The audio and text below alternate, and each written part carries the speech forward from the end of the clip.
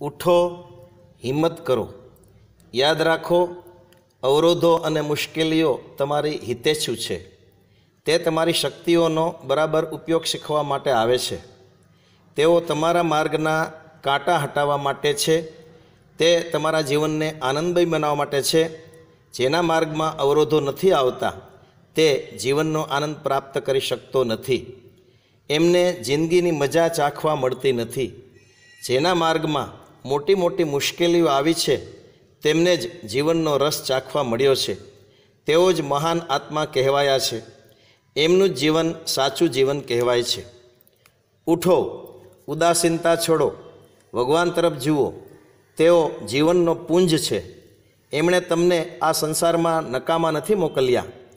એમણે તમારી પાછળ જે શ્રમ કર્યો છે, તેને સાર્થક કરવો તે તમારું કામ છે.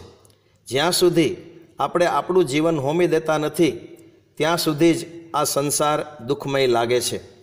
બલિદાન થયેલા બીજમાંથી જ વૃક્ષનો જન્મ થાય છે. ફૂલ અને ફળ એના જીવનની સાર્થકતા સિદ્ધ કરે છે. હંમેશા પ્રસન્ન રહો. મુસીબતોનો હસતા મોએ સામનો કરો. આત્મા સૌથી બળવાન છે. આ સત્ય પર દ્રઢ વિશ્વાસ રાખો. આ ઈશ્વરીય વિશ્વાસ છે. આ વિશ્વાસ દ્વારા તમે બધી મુશ્કેલીઓ ઉપર વિજય મેળવી શકો છો. કોઈ કાયરતા તમારી સામે ટકી શકે નહીં. એનાથી તમારા બળમાં વૃદ્ધિ થશે, તે તમારી આંતરિક શક્તિઓનો વિકાસ કરશે. અખંડ જ્યોતિ ફેબ્રુઆરી ઓગણીસો ચાલીસ, પેજ નંબર નવ, શ્રી રામ શર્મા આચાર્ય.